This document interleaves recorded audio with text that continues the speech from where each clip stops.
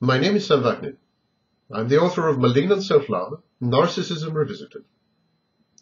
Personality assessment is perhaps more of an art form than a science. In an attempt to render it as objective and standardized as possible, generations of clinicians came up with psychological tests and structured interviews. These are administered under similar conditions and use identical stimuli to elicit information from respondents. This way, any disparity in the responses of the subjects can and is attributed to the idiosyncrasies of their personalities and not to any flaws in the tests themselves. Most tests restrict the repertoire of permitted answers. Consider, for instance, the Minnesota Multiphasic Personality Inventory, the MMPI-2. The true or false are the only allowed reactions to questions in the MMPI. Uh, scoring and keying the results is also an automated process, wherein all true responses get one or more points on one or more scales. All false responses get no points at all. So, these processes are automated, and this limits the involvement of the diagnostician to the interpretation of the test results, the scale scores. Admittedly, interpretation is arguably more important than data gathering. Summing it up, inevitably biased human input cannot and is not avoided in the process of personality assessment and evaluation, but its pernicious effects are somewhat reined in by the systematic and impartial nature of the underlying instruments, the psychological tests. Still, rather than rely on one questionnaire and its interpretation, most practitioners administer to the same subject a battery of tests and structured interviews. These often vary in important aspects. Their response formats, the stimuli involved, the procedures of administration, and the scoring methodology. Moreover, in order to establish a test's reliability, many diagnosticians administer it repeatedly over time to the same client. If the interpreted results are more or less the same, the test is said to be reliable. The outcomes of various tests must fit in with each other. Put together, they must provide a consistent and coherent picture.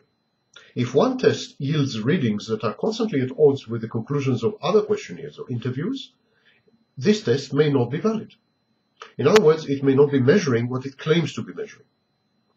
Thus, a test quantifying one's grandiosity must conform to the scores of tests which measure a reluctance to admit failings or propensity to present a socially desirable and inflated facade. These elements must fit together grandiosity, reluctance to admit failings, and an inflated self-image and for facade, for self.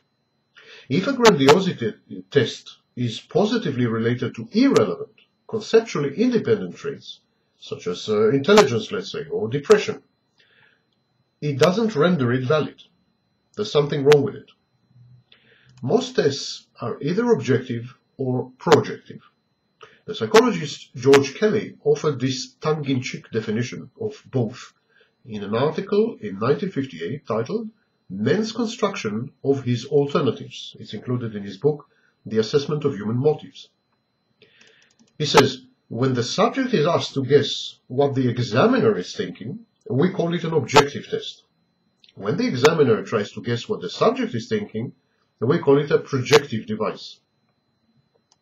The scoring of objective tests is computerized. No human input is involved.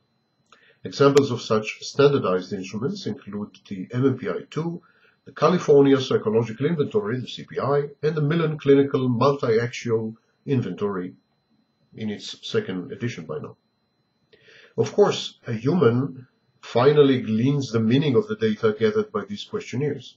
Interpretation ultimately depends on the knowledge, training, experience, skills, and natural gifts of the therapist or diagnostician who administered the test. Projective tests are far less structured and thus a lot more ambiguous. As L.K. Frank observed in a 1939 article titled Projective Methods for the Study of Personality, the patient's responses to such tests are projections of his way of seeing life, his meanings, significances, patterns, especially his feelings. In projective tests, the responses are not constrained. The scoring is done exclusively by humans and involves judgment. and thus, of course, bias. Clinicians rarely agree on the same interpretation and often use competing methods of scoring, yielding disparate results. The diagnostician's personality comes into prominent play in projective tests. The best known of these so-called tests is the Rorschach set of inkblots.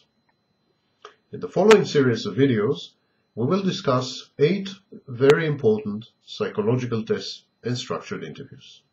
Stay with us and keep watching.